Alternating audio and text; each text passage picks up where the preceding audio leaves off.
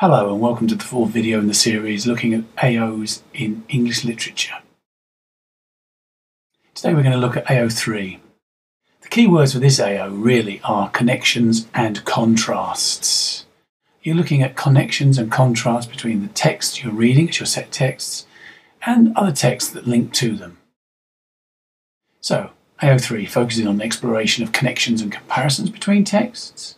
And it also expects you to utilise critical interpretations of other writers, that's people who have read those books, other authors maybe, academics, that's professors who study these books, and any other critics of these works, and using those to draw similarities between texts and the differences within those similarities. It's part of the analytical process. And of course, here, because it's comparing, and you are meant to explain and explore analyse and evaluate those comparisons, it means AO1 again plays an essential part in planning your responses to any essays that you've been asked to write. Examiners, AO3 poses the most difficulty to most candidates. It requires a depth of understanding regarding the text studied from AO2, which focuses on language, form, and structure, to AO4, which looks at contexts under which those texts were written. This means that the candidate must have a very strong grasp of these areas in order to compare the texts that they're being asked to look at. And in some cases, have to have a good grasp of the genres of poetry, prose, and drama in order, that's the AO2, in order to make those comparisons. In particular, when addressing the AQA syllabus, where there are unseen texts to analyse, compare, and contrast. In relation to AO3, examiners identify three major problems failing to connect texts, obsession with detail, that means getting bogged down in the comparisons and maybe becoming maybe too narrative, and maybe too plot driven, and a careless use of quotations that don't help to draw similarities and contrasts and differences between the texts. So, looking at the first area, then, failing to connect texts.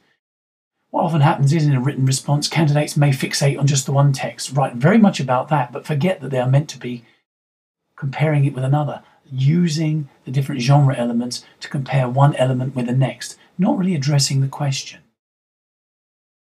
They should be using AO2 to make those connections and help them identify similarities and differences in relation to how the text is written, or the themes it's, it is employing, or the way that the authors are presenting certain ideas.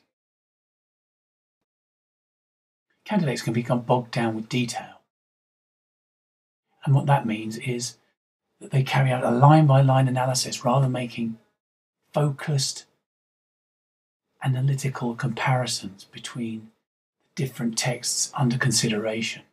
If they are becoming bogged down in particular parts of each of those texts, they're not seeing the bigger picture, the bigger ideas that they're meant to be engaging with. They need to get that bigger picture in order to succeed in AO3. And then finally, the careless use of quotations. As mentioned in the previous video, the use of quotations will be gone into in more detail in a separate video. But it's really important that the use of evidence, either that's quotations from critics or academics or quotations from the text themselves, they are, they are employed critically. That means they are used to help analyse what you are comparing, not just thrown in with no relevance whatsoever. So it's really important Quotations must be critical and focused, and they must be relevant. We can see in this example of an A grade candidate's use of AO3, there are specific things going on where the candidate meets the requirements of the assessment objective. Firstly, in this block, we can see that the candidate has a very strong understanding of where the Rape of the Lock, that's Pope's poem, fits in to a continuum featuring other texts from Virgil's Aeneid to Milton's Paradise Lost. And here we have this focus on a contextual background that is also used to compare one text with another. So here we have a very good understanding by the candidate of where the text is coming from, but also what it's linked to.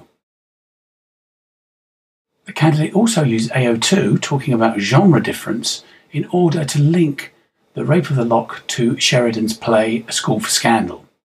And again, this is rather well done using very good AO1 here with the use of the semicolon to link the two texts and talk about how they are similar in the way that they look at weaknesses in human nature and are trying to highlight human pride and foolishness.